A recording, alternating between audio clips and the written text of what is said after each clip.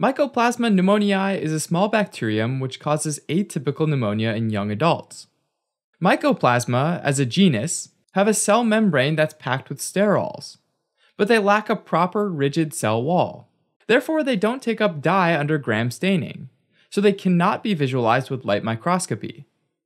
Additionally, they're highly pleomorphic bacteria, meaning that they have no fixed shape and size, and they're also osmotically unstable in the external environment. So, to survive, mycoplasmas invade host cells and live intracellularly.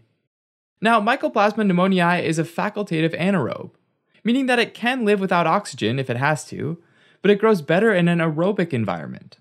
So it prefers places like lungs or respiratory airways, where there's an unlimited flow of oxygen.